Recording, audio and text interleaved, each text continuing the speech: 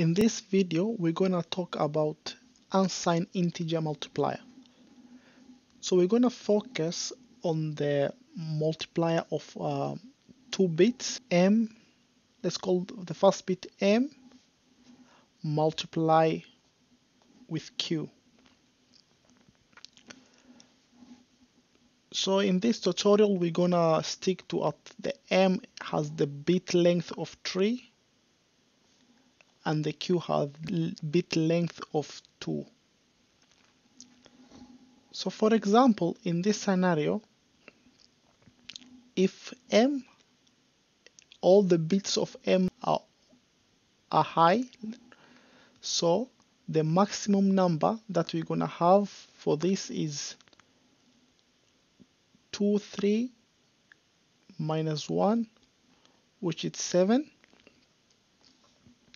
so here we're going to have the max value is 7 times 2 so the maximum number of 2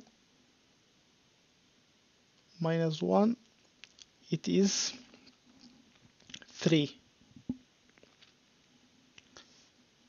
so here we're going to have 3 bits 3 the value of 3 so the answer of this should be 7 so it is 7 times 3 which is 21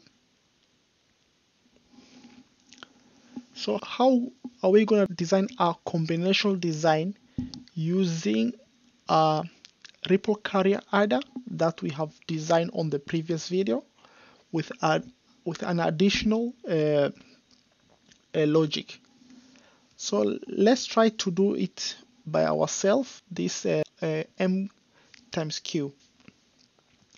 For example, we have m is 7, so this is m, and we multiply it with q, which is 3, which is 2, 3s.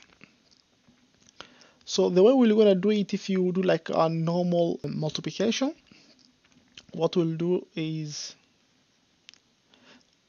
1 times 1 in bits. So you're gonna have 1 1 1 times 1 is 1 and then 1 times 1 you have 1 1 and 1 and then you you need to sum this. So you will have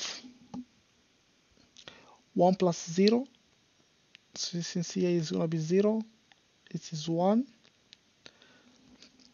and then 1 plus 1 bit it is 2 so you have 0 carry 1 so you have 1 plus 1 plus 1 the, the other carry 1 so you have 3 so it's 1 and then you have a carry 1 so it's 2 so you have 0 1 which this is equal to 21 you have 1 plus 4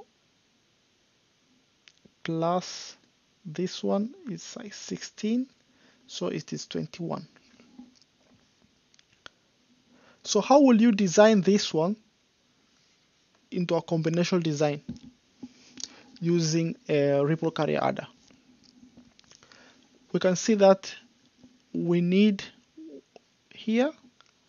This addition here we can say this one is our RCA which is a ripple carry adder and then we can use AND gate for the multiplication. So we can insert our sketch here.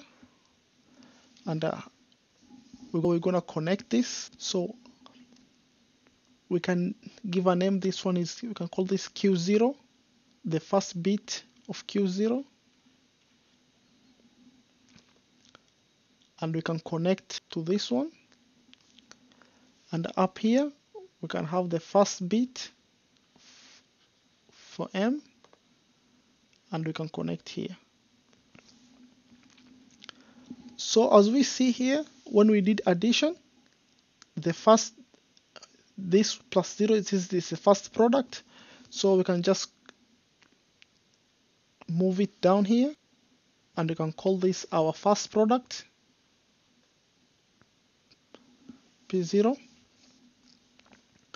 and then we can do an next uh, operation which is q0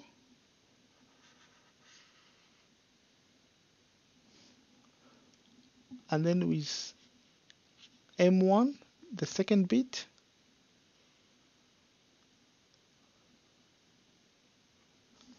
So we can move here to our ripple carry adder so because it, it need to be summed.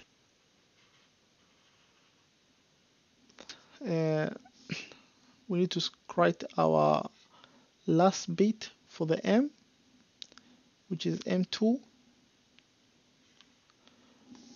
which is this one here. And then the answer of this is this one so we need to sum it here too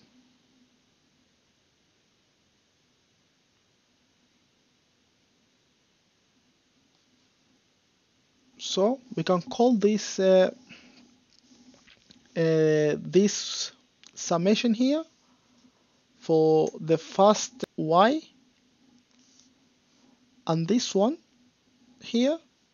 We need to write our second bit for the q.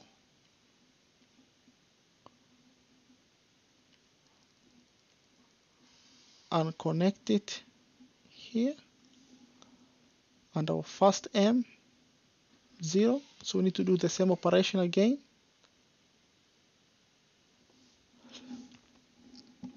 For this so this is m m0 and then we need to do for m1 and m2 and then all of this need to be connected to q1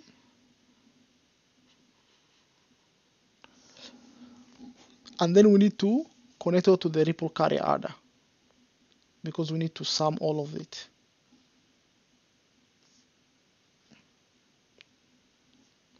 We can call this operation uh, AX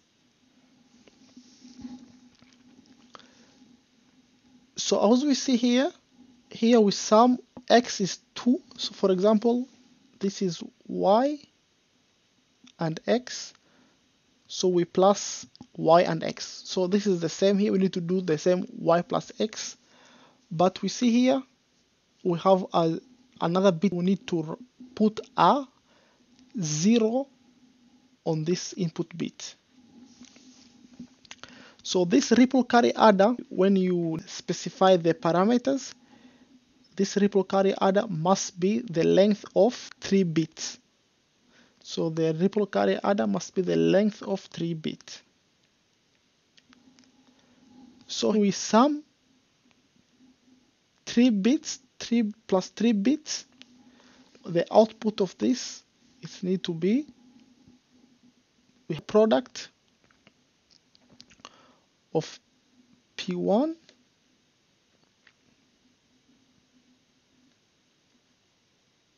P2 and P3.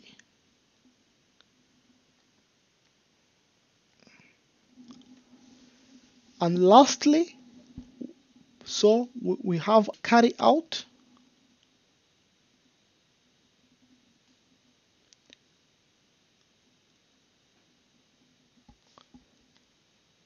it, it, it is the last bit bit 4 so here we have a carry out bit and the carry in you need to set as 0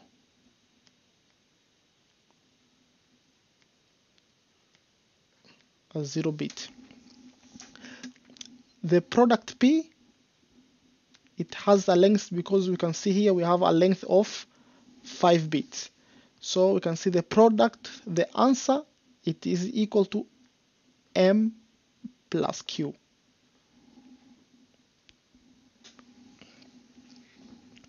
so in the next video we're gonna talk about how we're gonna implement this sketch and this the thinking of designing the integer multiplier design into a Verilog code